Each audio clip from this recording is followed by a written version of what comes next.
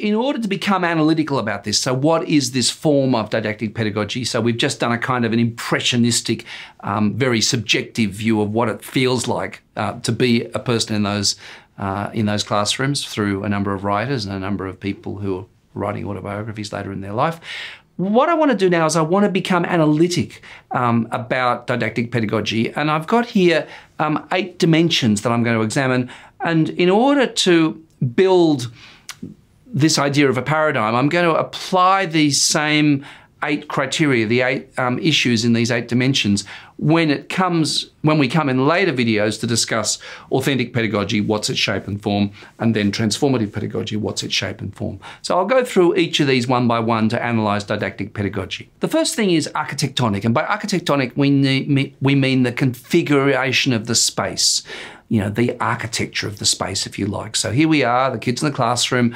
Uh, there are four walls in the classroom, but the architectonics is not just the four walls, it's the way the desks are configured.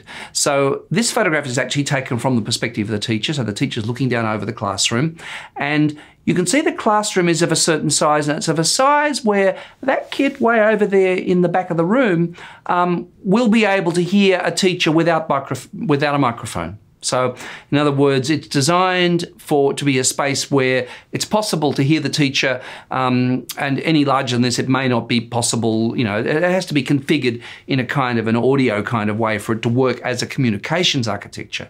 But then, when we look at the arrangement of the desks here, what you can see is the eyes of the children are all coming to the teacher, right? So, in other words, the desks are arranged so it's not for really the students talk to anybody else. They might, at a pinch, be able to talk to the person beside them or the person behind them, but that's all. But it's not even really configured for that. It's configured to be a communications architecture which is about these um, uh, linear lines from the teacher to the students. and so the way in which the desks are configured builds shapes. I mean, the physical shape of this room and the arrangement of the desks shapes the forms of communication which are going to occur in that room. This is a rather um, extreme example of exactly the same principle. Um, this is a picture used um, in uh, Foucault's Discipline and Punish book uh, of a lecture hall in the Fresnes prison in France. Uh, when, maybe in the 19th century. Um, uh, and the lecturer there is lecturing the students on the evils of alcoholism. But you can see there absolutely there was no way that the prisoners would talk to each other. They were just simply to, they were simply framed by the space to listen to the lecture theatre. Now, I just wonder how many didactic classrooms are actually like this, except the little walls aren't up behind the people. They're designed for, for, uh, for there not to be that communication, just to be the communication between the one central person and all the people listening. Secondly, I want to talk about the discursive configuration of the didactic classroom. And we have a number of discursive um, artifacts. You can see here all the students have textbooks uh, on their on their desks. And presumably it's the same textbook and they're all on the same page at the same time because they're doing the same work. The teacher may well stand at the front of the room and there's the teacher and give a lecture to the students.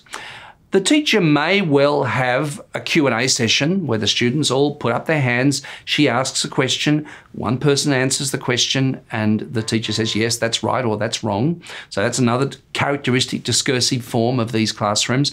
Or, and the other thing which was quite common was this idea of recitation. Everybody answers at once. Everybody uh, reads something together. Um, so in other words, these, these were several of the kind of discursive practices that classically occurred in these uh, these kinds of classrooms. Now, of course, these um, discursive practices, textbooks, lectures, Q and A, recitation, they all have certain assumptions in them about the role of the learner to knowledge and the role of the learner to the teacher. Which brings me on to the third point, which is intersubjective. So, how are the relationships of teacher, students to each other configured? Well, firstly, there isn't much interaction between student and student, and if it is, it's off task and irrelevant. Um, you can create some sort of student to student interaction in these kinds of spaces, these kinds of pedagogies, but by and large, it, it really doesn't happen. That's not the idea. So, if you like, it's a kind of a, a hub and spoke model where the, the teacher is the discursive hub, the, the um, uh, and the students are all around them. So intersubjectively, there are these relationships going on, but essentially, that relationship of the teacher to student is a relationship of command and compliance. Uh, answer this question, I'll answer the question. Do this work, I'll do this work. So the teacher is strongly in a position of control. So the intersubjective configuration of the uh, students and teachers, which is very little happening laterally, little or nothing happening laterally between students, um, and this relationship, intersubjective relationship of the teacher and the student, which is essentially a command and control relationship. What does this mean socioculturally? My fourth point. Well, what this builds is a social architecture of sameness or one size fits all learning. So everybody has the same textbook. And when the teacher speaks, they really need to speak to about the middle of the class. So some kids mightn't be picking up on it, but hopefully they're getting roughly what's going on. Some kids, it might be a bit slow for them and boring, they already know it. But somehow or other, because everybody is hearing the same message at the same time from the teacher, everybody's in this communication architecture is listening to one message. There can only be one message at a time. It, the basic underlying um, social architecture is actually one of sameness, which is we're going to try to um, uh, to configure you all as the same. What are, what are the underlying cultural purposes of this sameness? Well, one element of these purposes is the idea of a nation. So the kids come to school, they might speak different dialects.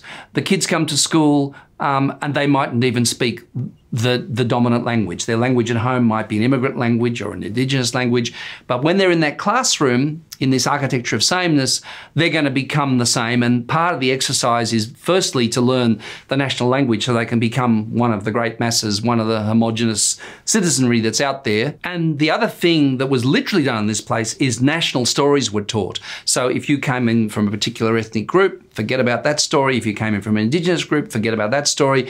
That what you did in social studies is you learned about the nation, and in the morning you saluted the flag and you sang the national anthem. So it was about building this homogenous citizenry around the idea of uh, nation. And in fact, in a way, schools were, were one of the most active places to promote nationalism um, uh, in the sense of you know, loyalty to the nation, willingness to go to, to war if asked, um, uh, an identification with the nation as a, as a singular kind of entity and so on. So in a, way, in a way, one of the agendas was to ignore or write over those differences that the students brought to school and to build uh, a sociocultural environment in that classroom, which is essentially one of sameness. And what we did also in these spaces is if you were sufficiently different, we were going to exclude you. So, in other words, um, you know, if you uh, didn't speak any of the first language, maybe we'll send you off to an English language class. If you were disabled in some way or another, uh, we can't really deal with that because we have to be able to deal with people who are all the students more or less at the same level of capacity, ability, or uh, um, and so on. So what we did is we we uh, streamed classrooms. So they were streamed by ability. They were streamed by not having disability in the classroom. So what we did is we tried to build these classrooms so the students were as similar as possible in order to be able to speak to the whole class in the same voice at the same time. And in order to do that, we had to exclude certain people, right? Um, if you're disabled or and so on. Um, or if you were to come in, the condition of your coming in was assimilation, which is okay, perhaps you don't have uh, the first language of the language of instruction, but try and learn it as quickly as you, as you can. If we throw you into the deep end, you become immersed in it, you'll become assimilated and you'll become just like the, all the other students.